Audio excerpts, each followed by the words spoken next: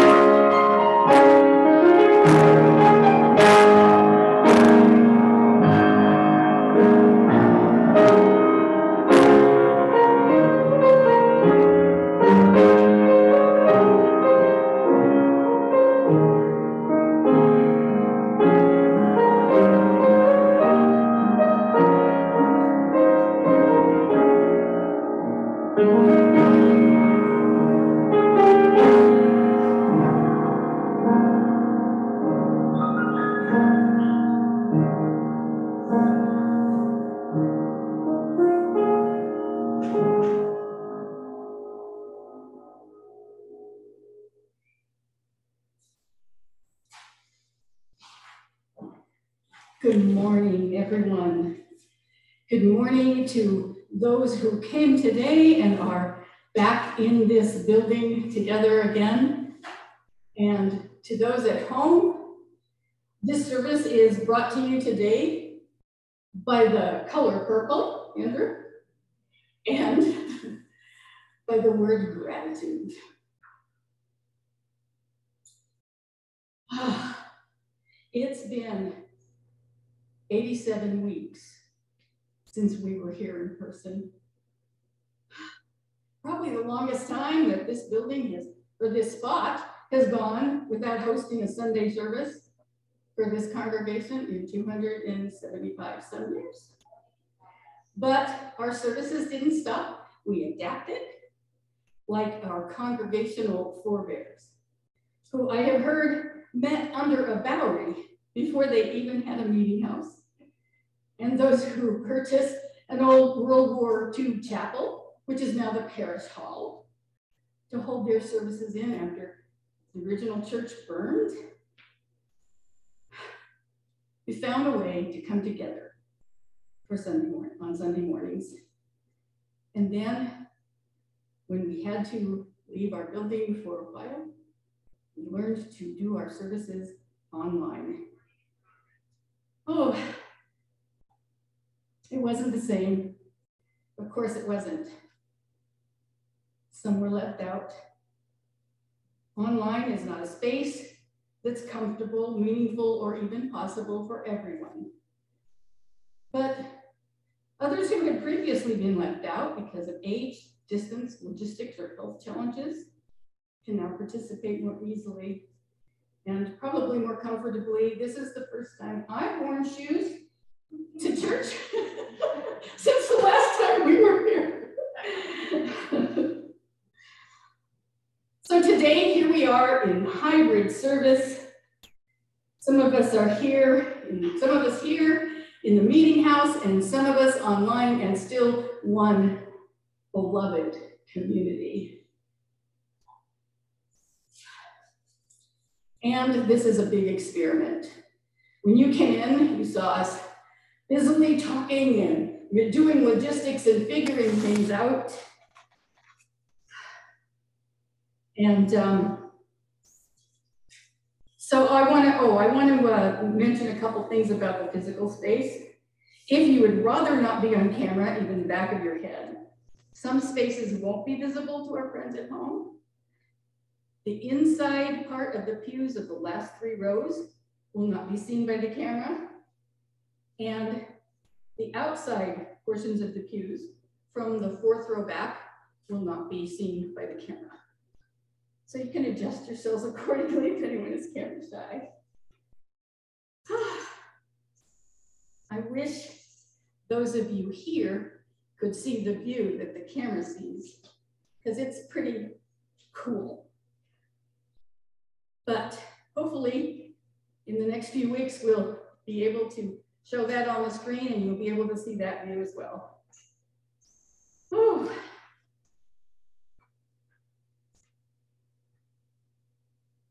So here we are together, bound not by creed and not by a desire to please one God or many gods, drawn together by a belief that how we are in the world, who we are together, matters no matter how we gather.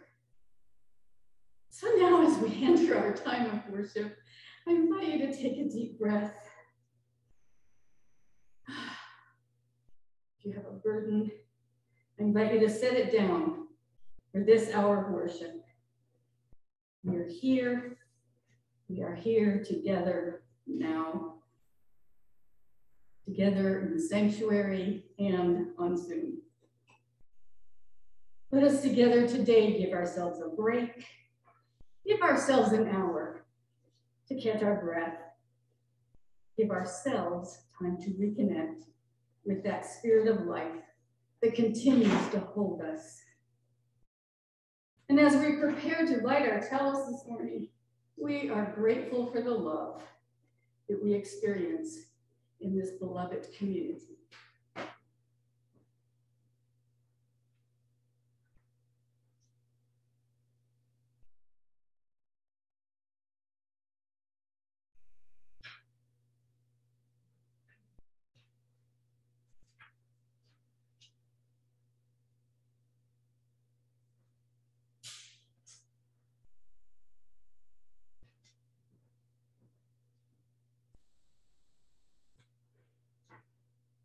We call this light before us in the hope that we may always remain a strong community, working together to make the world a better place.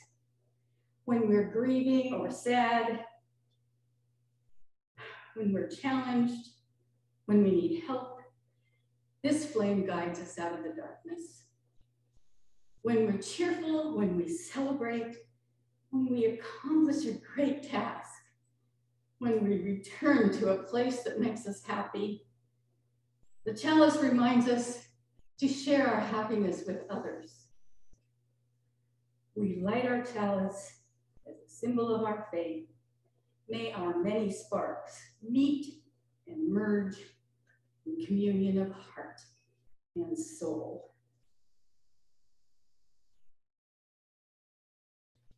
As I was preparing this service, it occurred to me that we are kind of rededicating our meeting space and rededicating ourselves to the purposes for which we spend so much love, time, and hard-earned treasure in order to maintain and improve.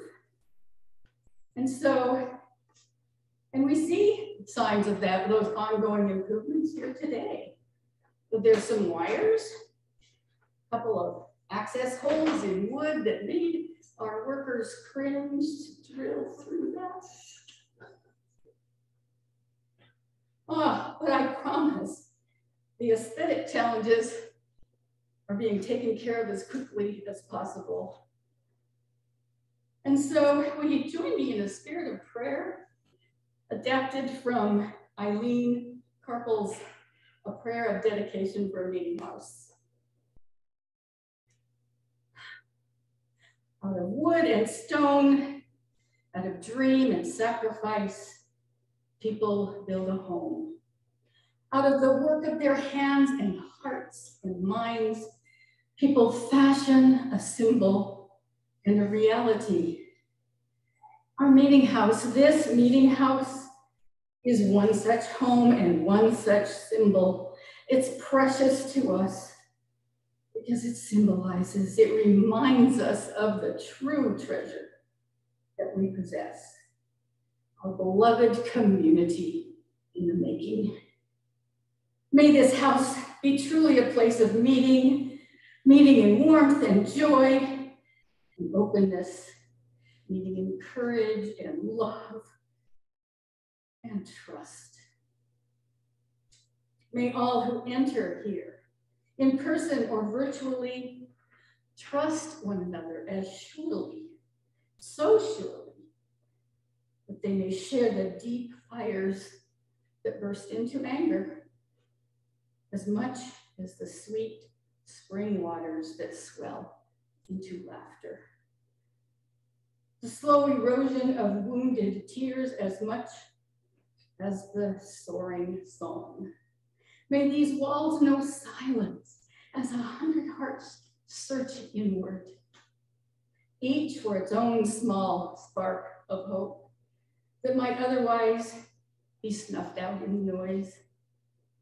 May these rafters hear the voice of a child as surely as that of the orator, and the sound of the lute, and the clap of the typewriter, and the swish of a broom, and know that all are as holy as the shout of a million stars. May the rain fall lightly on this house, and may the sun shine warmly, and the winds blow softly and blessed. It's a place of joy and peace. Amen. Blessed be. And now, it's time for the opening hymn, which those of us here are not supposed to sing that's more dangerous than talking. So we are going to attempt an experiment. Um, we are going to play the opening sim, hymn um, that is recorded. The folks on Zoom will get to see, I think, the, I think the choir sang this. We'll get to see the choir singing. We here today won't. Like I said, in the future, hopefully we'll see the choir up on the screen. So the opening hymn today, which we will, we can follow along in our minds and you at home can sing along with your mics muted if you like, is Oh, We Give Thanks.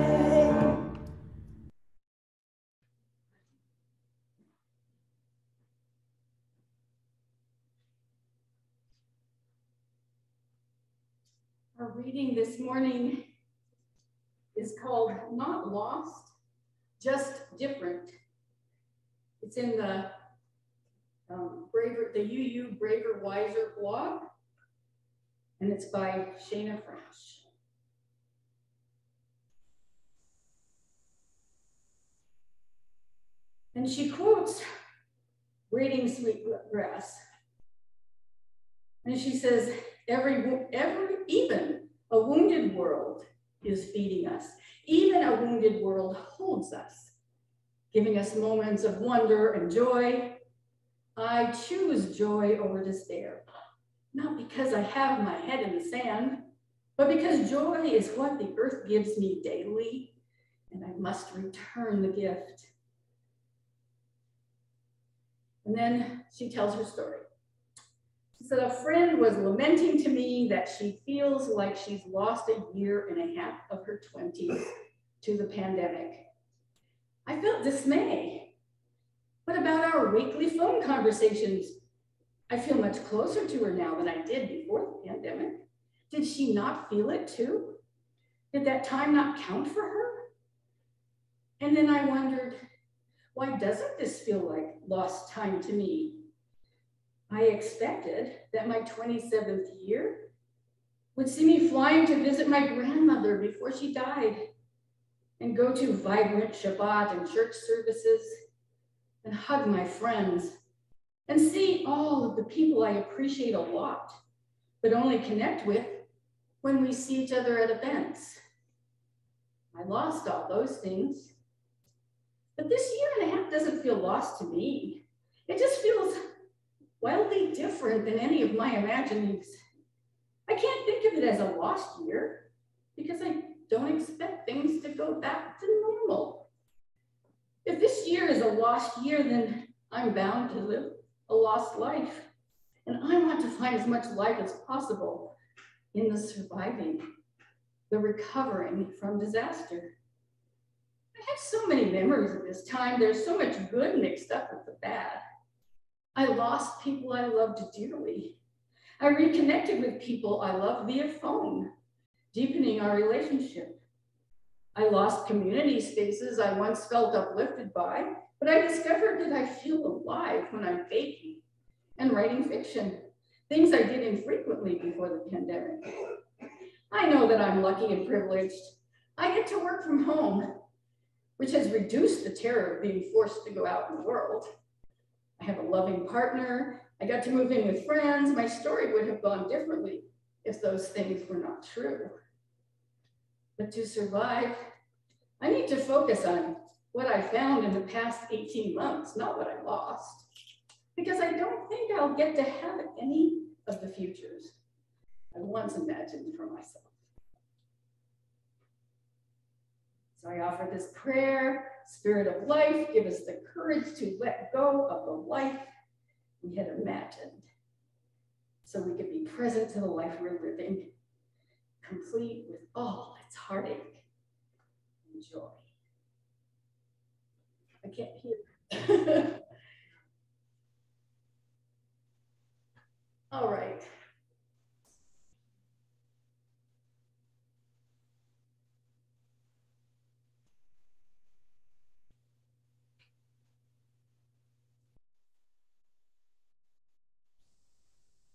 Dennis? No. So we just go on, or is she done with that? Done. Thank you. Yes, we go on. All right, thank you. All right, it's time to collect the offering. Our November offerings will be split with Veterans Inc. And you'll find information at their website, which can be found in the Friday or Sunday email. And our ushers will come around to collect the offering. If you don't want them to come close to you, just signal. You can put it, put your offering in a basket at the back uh, after the service.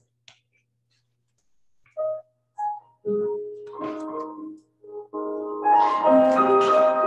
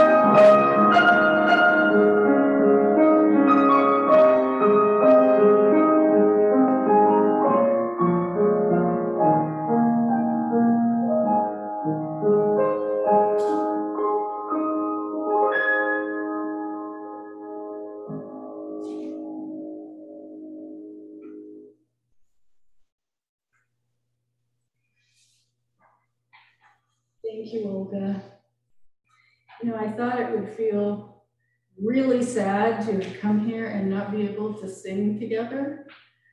But with the beautiful music you bring to us, it's filling up our service with beauty, with music today. Thank you so much.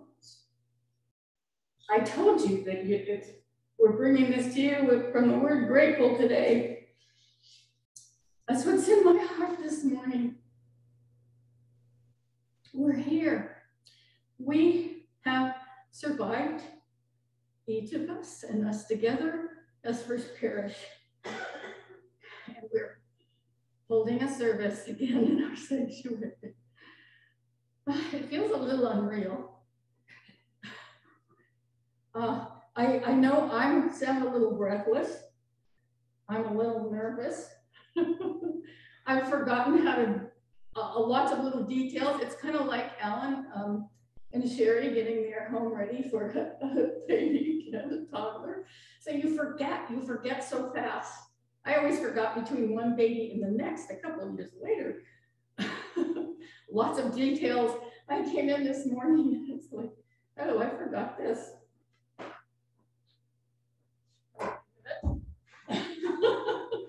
when I came in here this morning. And I and I printed my, I printed, I had my, Stephanie printed my service for me, but I put it together wrong, so I, I was last minute dealing with it. And then finally too, I sound a little restless because I'm trying to speak with a mask on, but that's all right. We're here. Oh, and you know, did anybody else run into this? Some of you have been going out to work every day, you know, but uh, like, I'm going, okay, I'm going to work. What do I wear? oh yeah, I got a stole. and, and and when do I need to leave? Oh my goodness. oh.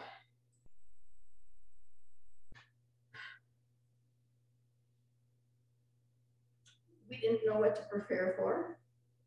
We didn't know how the technology was going to work, just that we knew Stephanie would work us through to the best solution possible in the amount of time we had. Woohoo! Didn't have any idea how many of you would show up this morning. So glad to see some of you here this morning. And on such a beautiful day. Wow.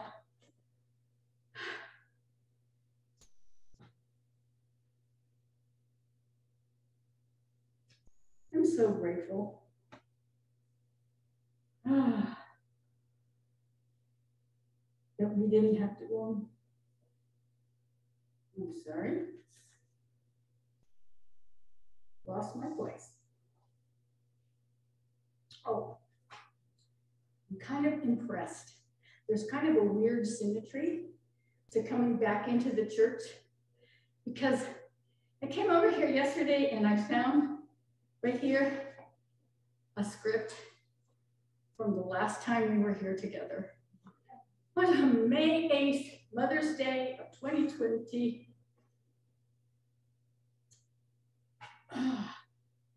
And in that script, I had to kind of chuckle because I talked about the pandemic and being safe. And had so little idea or knowledge of what we were facing. We talked so about washing our hands, we sang a little song. Wash, wash, whoever you are, right? uh, didn't say a thing about masks. Did say a little bit about keeping a distance. Oh. And by the next Sunday, we had moved our services to remote, and here we are. We came back and brought remote with us. How's that? I think this will be one of the stories that will probably go down in our history. It'll be our piece of the collective history that will be told about these past two years. How? Now, Our topic for this month is holding history. And a few weeks ago, when I was thinking about what to talk about uh, during this month and on the different Sundays, and I was discussing that with the worship committee, we were doing our brainstorm. And I thought, I, I even expressed to them, what more can I say about history? What can I say about history? Like we've, we've done, we just had our 275th. We didn't get to do it the way we wanted, right? Because pandemic, but we still did it. We put a lot of history in it. So tell the same stories again, what? And no, they said, we need our history now more than ever. Tell our stories again, Reverend Lynda. Hold our history. It's one of the things we share, whether we've been here for many years or are just getting to know this congregation. Our history has made us who we are, for better or worse, and it's important. They said we need our stories to inspire us, to reassure us, to teach us lessons, and sometimes help us learn to do a little better. They reminded me of stories like how the minister in the years running up to the Revolutionary War preached fiery sermons denouncing the tyranny of taxation without representation. There's a good role model.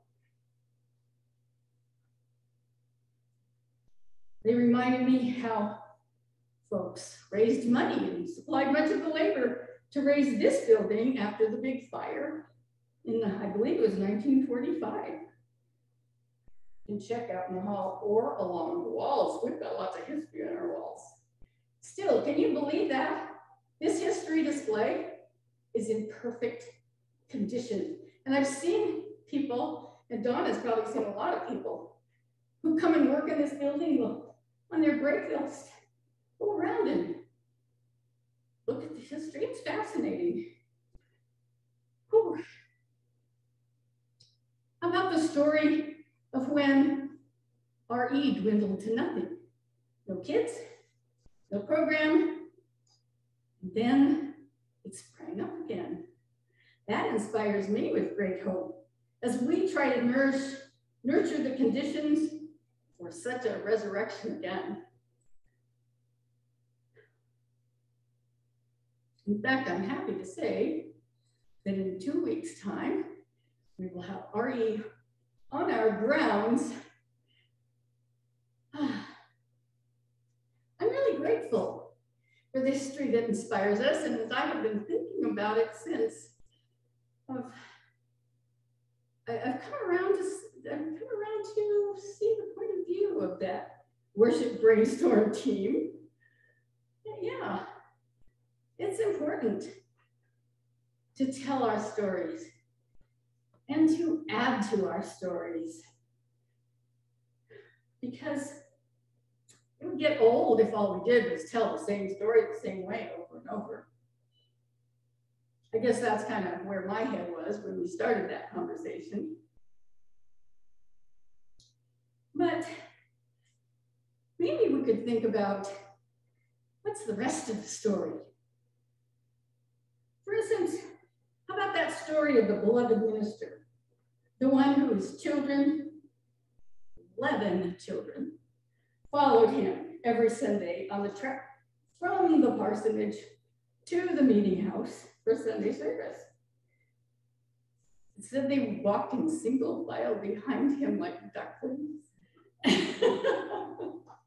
love that image. And the story goes that one Sunday during the sermon, this minister was handed a note. Whew. Your house is on fire.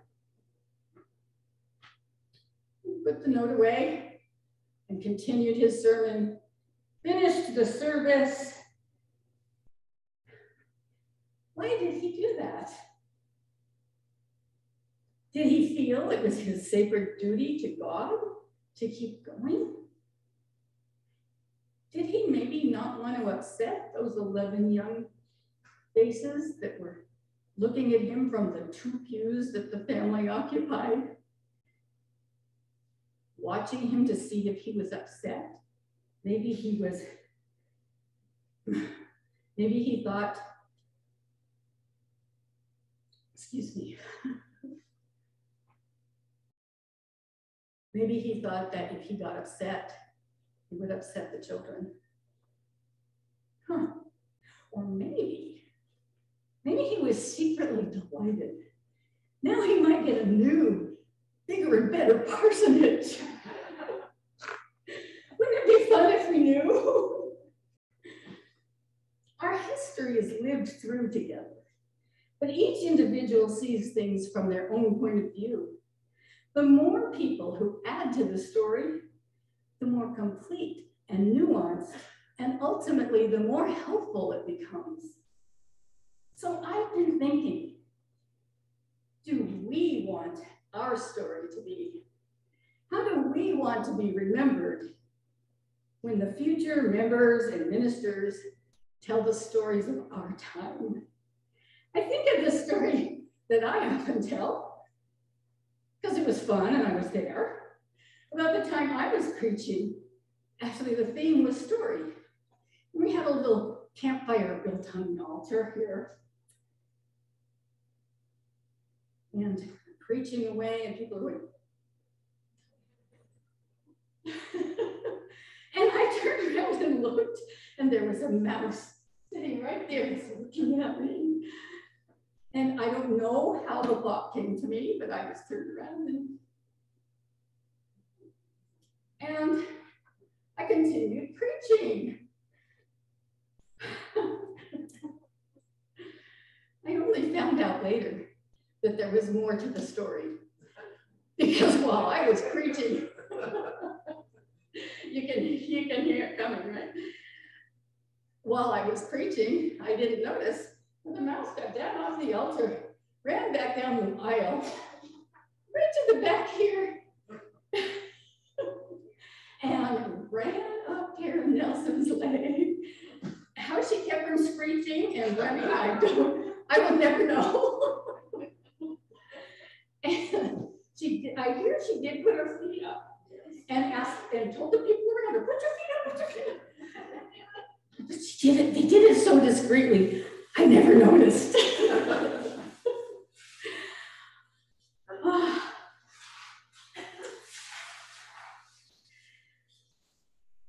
well, it's a cute story.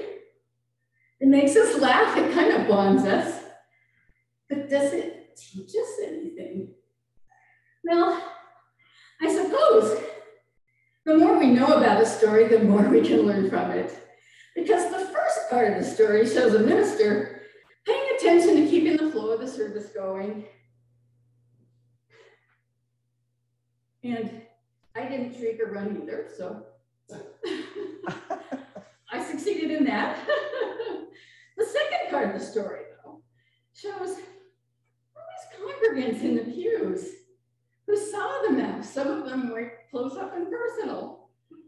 And they also paid attention to preserving the flow and feel of the service for others by not shrieking and running. They did put their feet up, but they did it quietly. I that is a great illustration of the way this community cares for each other. And that couldn't be known without the rest of the story. Well, to some extent, we have little control over exactly how future generations will remember and retell the stories of our time, or even which of the stories get passed down. But some of them will be told. And if we continue to do our best to live our values, to build beloved community, and walk toward each other in love. Some of these stories cannot help but inspire those who come after. Some of our stories may help them find their own way through whatever life throws at us. Individually and collectively. If we're honest about our struggles as well as our triumphs, then the stories of the great pandemic of 2020, well, it won't be the 2020s. Our stories will not only inspire, but help build a foundation for more growth, deeper relationships, and greater inspiration and hope. May it be so.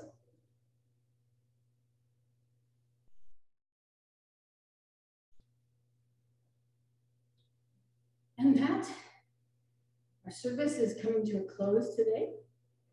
I want to remind everybody that we have some chairs and we can go over the parish hall and get a few more if we need to. Welcome to take them out, sit around on the lawn and visit for a while if you'd like. Um, I think our folks on Zoom will have their social hour as they usually do. Um, And I also wanted to mention, anyone who's interested in Indigenous Justice Advocacy Day, there's information in the perspective, and that's Wednesday, November seventeenth. And so,